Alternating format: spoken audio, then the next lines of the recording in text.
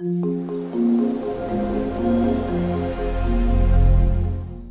the powers in the universe are already ours. It is we, who have put our hands before our eyes, and cried that it is dark.